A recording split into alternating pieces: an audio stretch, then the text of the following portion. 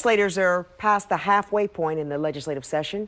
Gun laws have brought out a lot of passion from both sides on the issue. There is no different concept.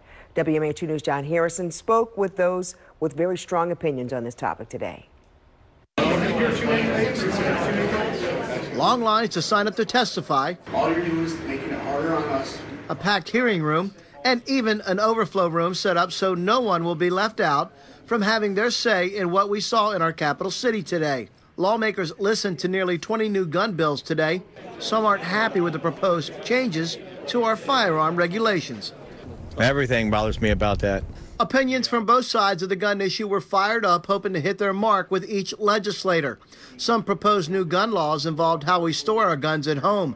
The current law says you may not leave a loaded firearm accessible to a child in the house under the age of 18. The new law would make it under the age of 21. Some say it's not just about hurting others also the issue of suicide and kids who are impulsive, who are having a bad day, have had some horrific fight on social media, turning to that as an easy answer. Gun legislation was changed drastically during Martin O'Malley's administration. Lawmakers also considered legislation that would make you apply for a long rifle or shotgun just like a handgun, obtain a permit, and a waiting period. At that time, gun advocates said this is just one step to abolishing guns altogether. I filled out something for almost every single one. Okay. Carla Mooney is a qualified handgun instructor with the Well Armed Women organization. Mooney thinks those fears that were born during the O'Malley tenure may be legitimate.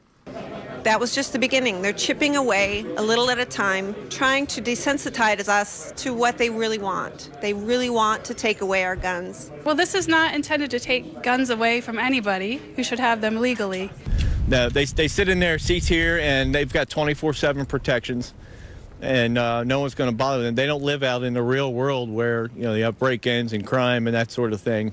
Um, you know that they're taking our right to protection away from us while you know they're, living large and and uh, they've got their taxpayer-paid protection around the clock.